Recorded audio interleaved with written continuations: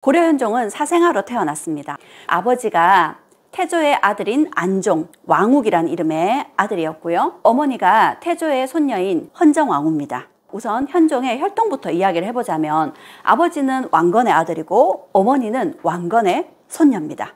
대단한 혈통이죠. 그런데 아버지와 어머니는 삼촌과 조카뻘 관계였습니다. 그러니 근친혼이라고 할 수 있겠죠. 하지만 고려 시대에는 근친혼이 보편적인 일입니다. 특히 왕실에서는요. 그런데 어머니는 선왕이었던 경종의 왕비였습니다. 과부인 거죠. 과부가 아이를 낳았습니다. 과부가 결혼을 하는 건 사실 문제가 되지 않아요. 문제는 아버지와 어머니가 서로 혼인을 하지 않고 사통한 관계였고 그 사이에서 사생아로 태어난 이가 현종이라는데 문제가 있는 겁니다. 그렇게 현종은 아버지 왕후과 어머니 헌정왕후 사이에서 사생아로 태어났습니다.